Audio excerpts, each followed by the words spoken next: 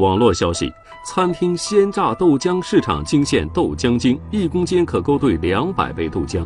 近期一则网络新闻引起巨大反响。长期食用这类豆浆会增加肝脏负担。豆浆是大家喜爱的食品，很多人都会选择用它和早餐一起来食用。细心的朋友可能也会发现，平时我们在不同地方买的豆浆，不仅价格不一样，甚至连味道、口感也大不相同。那么前面爆出的消息是否真有其事呢？面对真假难辨的豆浆，我们又该如何选择呢？挑战留言：一公斤豆浆精可勾兑两百杯豆浆，到底是真是假？记者仔细阅读了这条消息，发现一切的重点都集中在了“豆浆精”这个新名词上。那真有豆浆精这种东西吗？那些口感各异的豆浆会是他惹的祸吗？由于这个豆浆精，它全部都是用食品添加剂来勾兑成的。那么，食品添加剂对于我们的身体，它虽然说不是有害的，但是它也不没有害不等于有益，因为它这些东西不是我们身体所需要的，所以我们的肝脏就需要对这些我们不需要的外来物质进行一个处理。如果长久喝这些勾兑的豆浆的话，那么我们的肝脏的处理的负担就会加重。那么久而久之呢，可能会导致一些肝脏上面的一些疾病的发生。究竟市面上的哪些豆浆是用豆浆精勾兑出来的呢？我们又该如何正确分辨出来这些豆浆呢？为此，我们的记者做了个调查，分别从超市、快餐店和早点摊儿买了三种豆浆，然后把它们倒在贴在号码的烧杯中。可是从颜色上，我们并没有发现它们之间的区别。那这三杯豆浆到底有没有用豆浆精勾兑出来的豆浆呢？我们又该如何辨别呢？大家看这三杯豆浆的话，其实会发现它们的颜色上没有什么很大的区别。这也就是咱们老百姓平时在买豆浆的时候，可能会嗯不是特别容易辨别出来。真的豆浆的话是由黄豆来现榨的，然后黄豆中是有一种叫蛋白质的物质，蛋白质它在溶液中会有一种。呃，性质就是当你把一束光照着这个蛋白质的溶液的时候，它会分层。但是如果是假豆浆的话，它里边没有黄豆现榨的成分，自然而然也就没有蛋白质这个成分了。那如果没有的话，那实际上它也不会出现蛋白质这样一个分层的现象。所以你会发现它的光照过去是发散的。根据专家的说法，我们把三杯豆浆分别拿到黑暗的房间中，把手电筒贴在烧杯底部。用手电筒的光来照射三杯豆浆，结果杯子里的豆浆发生了明显的变化。这种现象有一个非常学术的名词，叫丁达尔效应，它是一种物理的现象。一号豆浆有了明显的分层现象，二号豆浆也有明显的分层现象，而三号豆浆经过照射后没有明显的分层现象，而且颜色发散。经常喝三号这样子的豆浆的话，会给我们的肝脏带来一系列的负担。那么长久下去的话呢，就会引发一些肝脏方面的疾病。为了保证实验的科学性和准确性，专家又用另外一种实验把这三杯豆浆进行了检测。皂素实际上也就是大豆里边含的一种非常特殊的成分。所以说，咱们可以用氢氧化钠的溶液来跟它进行反应，因为如果说是像大豆里边的皂素，它一旦接触了氢氧化钠的溶液，就会生成一种黄色的络合物。咱们通过这个办法可以简便。呃，辨别出来这个豆浆是真的还是假的。如果是假的话，它没有这个大豆的成分，没有皂素这个成分，所以说它也不会有跟氢氧化钠发生黄色沉淀的这样一个反应。首先，我们在三个试管中分别加入氢氧化钠溶液，然后把三个杯子中的豆浆分别滴入标号一样的试管中。一分钟后，三个试管的底部都发生了明显的变化。大家可以发现，就是三根试管中加了豆浆之后，会发现一号跟二号试管有了很明显的黄色沉淀的出现，但是像三号试管却没有出现这样的情况。这是因为，呃，大豆中的有一种叫皂素的物质。如果说咱们这个豆浆是由大豆先榨出来的话，那么它豆浆跟氢氧化钠反应就会生成这样一种黄色的沉淀。那如果是由豆浆精勾兑的话，它里边没有大豆的这样一个成分，自然也就不会有皂素的存在。那么它加了氢氧化钠溶液之后，自然就不会出现黄色的沉淀。一号试管和二号试管的底部有明显的沉淀物产生，而三号试管底部并没有明显的变化。经常喝三号这样子的豆浆的话，会增加咱们肝脏代谢的负担。由此可见，三号烧杯和三号试管里的豆浆都是由豆浆精勾兑出来的豆浆。常喝这种豆浆，很容易给我们的肝脏增加代谢负担。那这三个标签里的豆浆都是从哪里购买的呢？现在我们就来揭晓答案。一号杯子中的豆浆是记者从超市中购买的，二号杯子中的豆浆是记者从快餐店中购买的，而三号杯子中的豆浆是记者从早点摊儿购买的。所以在这里，我们特别要提醒您。下次我们在购买豆浆时，一定不要贪图便宜，要去正规的超市或快餐店去购买，尽量避免在路边的早点摊儿来购买，这样我们才能喝到既放心又营养的豆浆。一个阿姨收到了一个健康类的礼物，是一个血压计。嗯，她本想着用这个血压计呢，能测测自己的健康，没想到收到以后啊，自己反而变得不健康了。这是怎么回事呢？咱们一块儿去看一看。打电话来求助的阿姨姓武，前一段时间她的孩子送给她一个血压计，最近她一直在用这台血压计测量自己的血压情况，监测一下自己的血压，因为血压也不稳定。这自己在家监测血压本来是件好事儿。可是最近他去医院检查，却发现医院使用的是一种台式水银血压计，而且这种血压计测量出的结果和自己在家用的电子血压计测量的结果相差非常大，这让武阿姨感到十分的困惑。难道自己一直使用的电子血压计测量的结果不准确吗？它不准，是那个台式的准，到底是不是我也不知道。武阿姨对这个问题十分的困惑。他想知道这电子血压仪到底准不准，于是记者对武阿姨的电子血压计展开了调查。经过检测，它这个在动压这方这这一项上，我给的固定值一百五一百的嗯情况下，它得出的值是高压是一百一百四十五，低压是一百零三，说明它是有一定的误差的。工程师介绍，血压计反复测量的误差不能超过五毫米汞柱。从这个数值看，这个血压计仍属正常。但随后，工程师以五阿姨最近的血压值，也就是低压八十毫米汞柱到高压一百七十毫米汞柱作为固定值，进行了五次测量之后，发现血压计其中一次的高压误差已经达到了九毫米汞柱。这证明五阿姨家的电子血压计确实不够准确。那真的像她说的一样？医院用的台式血压计测出的结果就更为准确吗？还是水银式的更准确？因为，呃，水银式的这种血压计呢，呃，它受影响的因素更少，一般可能就受一些海拔的影响。在一般情况下，绝大部分地区呢，呃，这个因素影响因素不存在。那么所以说呢，就是。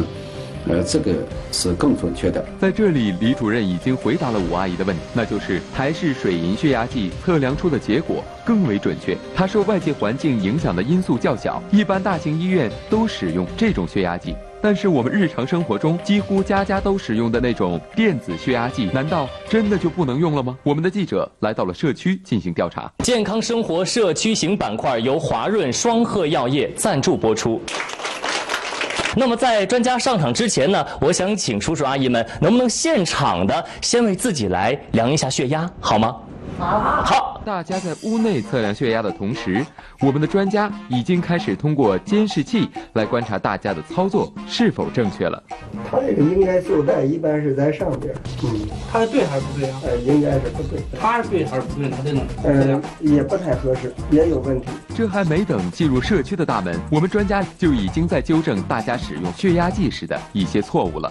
那刚才我们这些叔叔阿姨在测的当中，您发现了哪些问题？首先就是操作不规范，所以有时候得到的数据可能也不是特别确切。测血压这血压计嘞，它有不同的这个仪器，刚才大家都用了电子血压计啊，也有注式的这个血压计。不同的血压计操作方法嘞，它可能有一些区别，但是呢，总的精神它是不变的。赵主任提醒大家。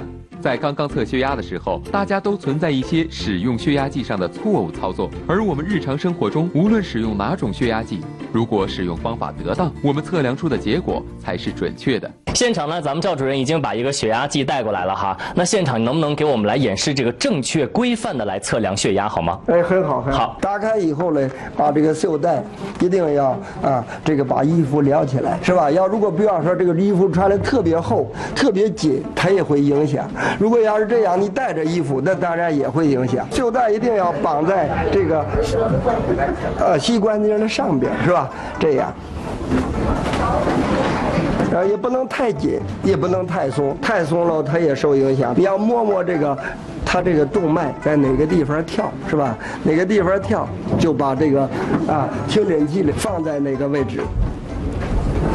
有的人呀，他把这个一下就放到这个里边，这个也是不对的。实际上啊，应该是在这个外边，你正好能啊摸到这个呃动脉跳动的位置啊，然后开始开始打气儿。然后慢慢的把它放开。第一声响的时候，那就是它的收缩压。最后没有声音了，那这个时候呢，就是它舒张压。这正确使用血压计的方法，赵主任就教给大家了。我们知道，血压计就是起到监视我们日常血压变动的一个作用。但是，关于血压的问题有很多。这不，热情的社区观众提出了很多日常生活中大家都会出现的血压问题。我血压是夏天就是低，冬天就高。为什么这样呢？因为到冬天的时候啊，天气冷，天气冷了，血管不就容易收缩吗？它血压是直接受血管的影响。到了冬天的时候，血压就不容易控制，就容易高血压。夏天的时候呢，相对来说，它血管舒张了，血压就会有所降低，相对来说就比较好控制。血压问题解答一：我们大家的血压容易出现冬季高、夏季低的情况，但是我们一定要注意，根据自己的症状咨询医生，调整治疗方案。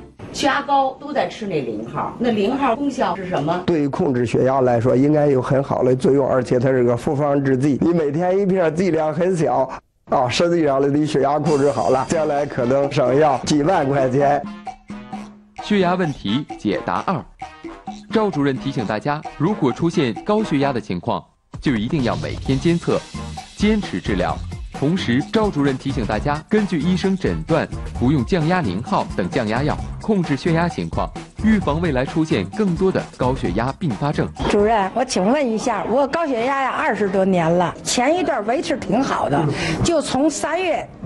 底到现在为止，血压老在一百七、一百八，怎么降也降不下来。像我这样，我用什么药维持能让它正常喽？现在俩治疗高血压的理念发生了改变，大家都认为应该平稳降血压，不能把血压降得太低了，而且应该这一天时间里边，血压不要波动太大，波动太大了就不太好。血压问题解答三：现在血压控制的理念已经发生了重大的改变，血压不再是降到越低越好。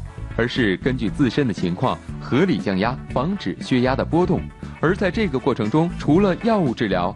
平时也需要采取多种预防的方法。这我跟大家带来了这个呃两个这个简单的茶饮的处方，肝火上炎类、心烦易怒啦、头晕眼花啦，这些就可以用桑菊苦丁茶。桑叶它本身清肝明目的作用，还有凉血的作用，还有预防感冒的作用。菊花也是药性偏凉的，实际上也有解表、预防感冒的作用。苦丁茶就是药味有点苦，它是有清肝火的作用，它有非常明确的降血压的功效。针对高血压人群，同时伴有肝火上炎、头晕眼花症状，我们可以采用桑菊苦丁茶，桑叶、菊花、苦丁各十克，每日代茶饮。另一张处方呢，高血压的病人，同时又有血脂也异常，大便不通。我们也为大家带来一个这个茶药的方啊，叫杞菊啊决明子茶，枸杞子、菊花啊草决明。枸杞子它本身中医认为它补肾养阴的，草决明啊又叫决明子，降血压的作用、降血脂的作用，还有通大便的作用。针对高血压同时伴有高血脂、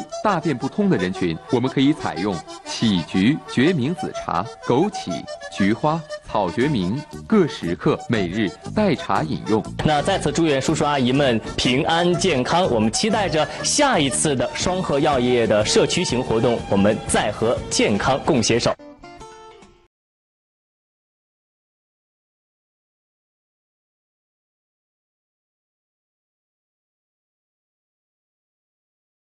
丝不苟的架势，很是妙趣横生啊。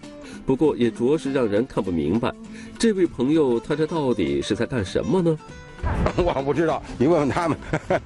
没见过，我觉得挺好玩的，像星星。我们的记者询问了一圈，也没有人能道出个所以然来。不过您别看大家都不知道叫什么，这跟着学的还是有模有样的。就连来观光的外国友人也好奇地参与其中。看来这奇特的方法已经走向国际了呀。不过我们得问清楚了，这到底练的是什么呢？怎么样？我这个锻炼方法很奇特吧？其实我这个锻炼的方法有一个非常霸气的名字，叫螃蟹步。螃蟹步，哎，听您这么一说，还真像那螃蟹在横着走路。不过别看这螃蟹步滑稽逗趣儿，这其中啊还有一个鲜为人知的故事。原来呢，我的身体啊非常差，就是有那个腰间盘突出、椎管狭窄，走路呢都相当困难。哎，最严重的时候是连炕都下不来，起不来床，也走不了路，两个腿没知觉，主要是俩腿没知觉。就是而且还疼痛，疼痛难忍，当时的状况，啊，就是二十四小时基本上都睡不了觉，就靠吃止疼片，寸步难行。什么叫寸步难行？连一步都走不了。从前的刘叔叔举步维艰，行走困难，这让他曾经苦恼不堪。不过再看看现在的健步如飞、弯腰劈叉的好身体，还真是这螃蟹步的功劳。但是这螃蟹步真有这么神奇的作用吗？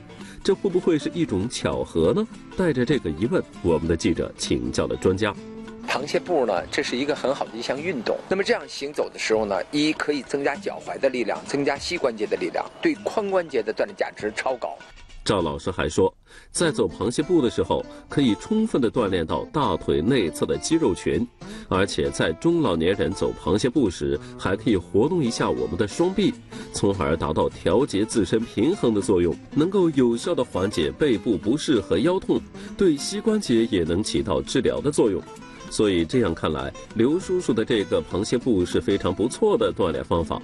但是在这里，刘叔叔强调说：“您别以为这螃蟹步就是随随便便的走两步就可以的，这里面还有很多要领啊。”螃蟹步啊，大家一定要记住四个要点。第一个呢，就是屈膝，就像蹲马步一样。第二个要点呢，就是腰一定要挺直，屁股呢不要撅出去。第三个要点呢，就是慢慢的把这后脚跟啊。抬起来，第四个要点呢，就是要大步的往横了跨，这样呢坐起来就非常的舒服，而且能达到锻炼的效。